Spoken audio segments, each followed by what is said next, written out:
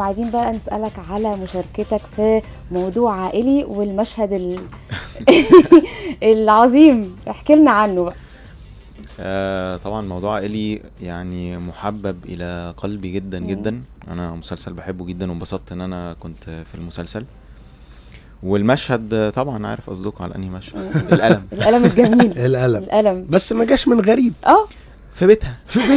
يعني يبقى في البيت وهنا كمان في اللوكيشن مش طبعا عايزين نبعت تحياتنا الكبيرة جدا جدا جدا للفنان العظيم وأسطورة التمثيل المصرية الفنان ماجد الكدواني طبعا والد يوسف ال- الكدواني. وفكرة بقى ارتباطك باسمه هل ده بيحط عليك ضغط زيادة ولا أنت حابب تفصل ال- الحتة دي خالص عن بعض؟ آه هو هو مثل من زمان جدا وتعب ووصل اللي هو فيه. أنا بحاول أبتدي وهتعب برضه وكل حاجة. فانا مش شايف إن أصلا ينفع يبقى في مقارنة آه، ما بين آه، ال ال هو عمل حاجات من زمان جدا أنا لسه ببتدي.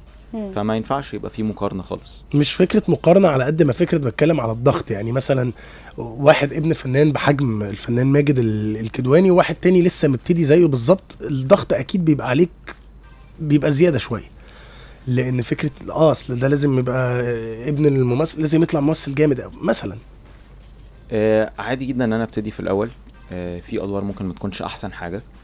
آه، هحاول أشتغل على نفسي وأطور من نفسي جدا جدا وأحاول أبقى ممثل كويس. ولكن آه، أنا مش شايف إن الحاجات دي بتورث خالص. أنا ممكن لو اكتشفت إن أنا مش آه، مش هنفع أمثل هوقف تمثيل. إنما لو الحمد لله أنا عارف أكمل هكمل. مش هعند يعني. لما بيجي لك دور بتاخد رأيه ولا تحب إن أنت الرأي الأول والأخير يبقى ليك أنت؟ لا بحب آخد رأيه بثق في رأيه جدا. مم. آه.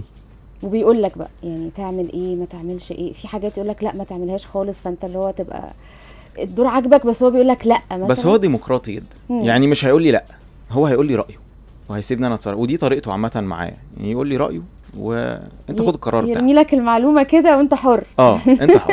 يبقى قرارك أنت. بالظبط. مم. وايه وايه أهم نصيحة قالها لك عشان خاطر تفضل مكمل في الكارير ده. أحب اللي بعمله جدا.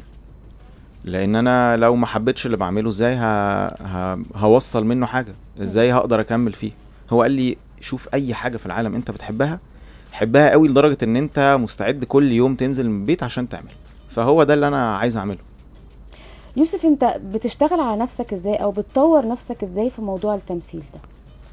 أنا آه باخد ورك شوبس حتى بعد ما أنا أنا درست آه ولكن أنا شايف إن دي حاجة لازم التمرين عليها على طول مم.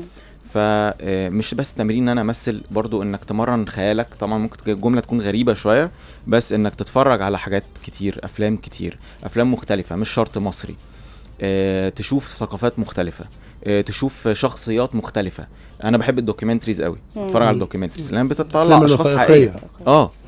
آه، بتطلع أشخاص حقيقية باخد workshops بحاول أقرأ على قد ما أقدر. يعني القراية بالنسبة لي أقعد قدام الكتاب يبقى الموضوع صعب بس بحاول. من فترة للتانية ممكن أقرأ. كل يعني بتشوف إن القراية دي بت- بتطور من مهارات ال- الممثل عامة؟ طبعا لأن أنت الورق اللي بيجي لك كسكريبت هو بيبقى كلام. أنت لازم بتحوله إن هو يبقى حاجة مرئية تتشاف. أنت اللي بتمثله. فطبعا إنك تمرن خيالك إنك تقرأ حاجة وتحاول تتخيلها ده بيساعد جدا الممثل. مم. وطبعا إن أنت قصاده الناحية التانية تتفرج على أفلام مختلفة تتفرج على أفلام وثائقية آه، تشوف الكلام ده آه، ده بيساعد الخيال عامة يستوعب كل ده.